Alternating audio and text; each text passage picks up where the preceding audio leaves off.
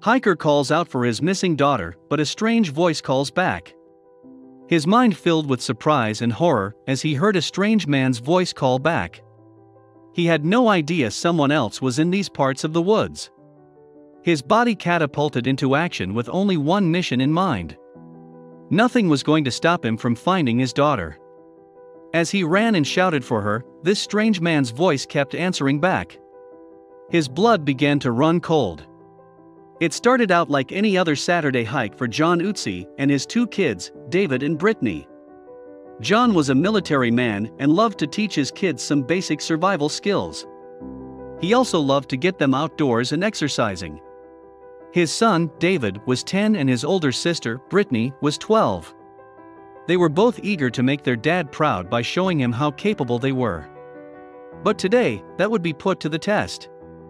John often let his kids venture ahead of him to run and play. He trusted their hiking sensibilities and knew they'd have good footing if they ever came across dangerous terrain. But the terrain was the last thing John should be worrying about.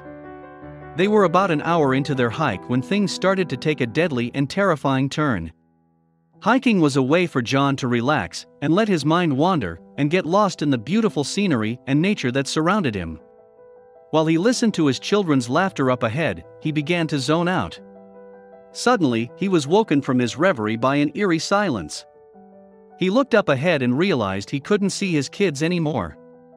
Using his sharp and deep military tone, he called out to them. He listened, expecting a reply, but he heard none. Now, panic began to set in. They'd usually always call back. He raced ahead, continually shouting their names into the wooded mountain range. But just before he could imagine the worst, he sees his son come out from a forested corner. John inhales, breathing a wash of intense relief he hadn't felt in a while. But it wasn't all as it seemed. David ran up to him. But once John looked at him, he knew something was wrong. He looked just as relieved to see him. What's wrong? he asked.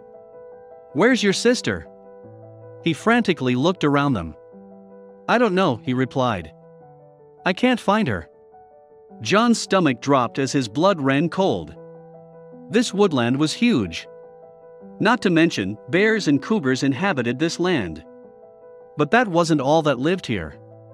Something far more dangerous lingered just around the corner.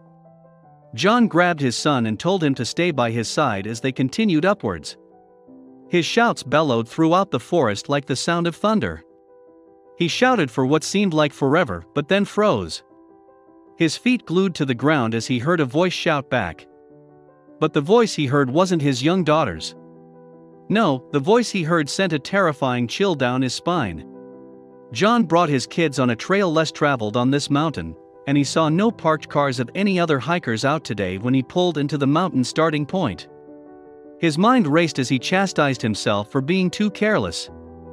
John heard a man's voice call back. He had no idea someone else was in these woods. His sudden presence spooked him, especially as his daughter was still missing. After his initial shock, John's body catapulted into action. He told his son to stay right there as he charged towards the strange man's voice.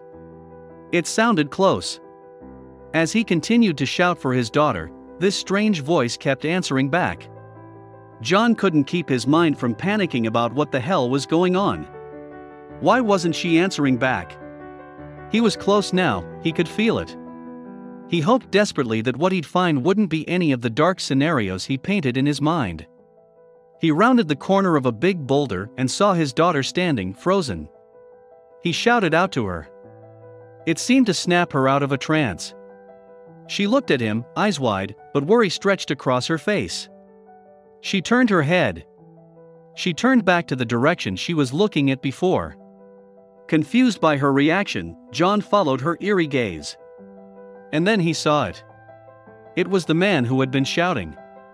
His arm was raised in the direction of Brittany. He was gesturing to her, and she was terrified, frozen in place. John ran up to her and held her tight. But then he realized what was happening. John found his daughter scared frozen, looking over at a man lying on the ground. He was frail and barely had enough to lift his hand. He was gesturing to her for help. It took all his might to reply to John's shouts. John raced over to him and quickly asked him what happened. He reached his hand into his backpack and gave him food and water. Suddenly, he leaped up. In all his panic to find his daughter and fearing he was running into a dangerous situation, he left his son behind. He told his daughter to help the man as he ran back to his son. Finally, they were all together again. He asked the strange man again what happened. But he could barely talk. There was no service to call for help, and the man couldn't walk. John had to think fast. He left all his rations with the man and told him he'd return with the police. John and his kids raced down to the car park and immediately called for help.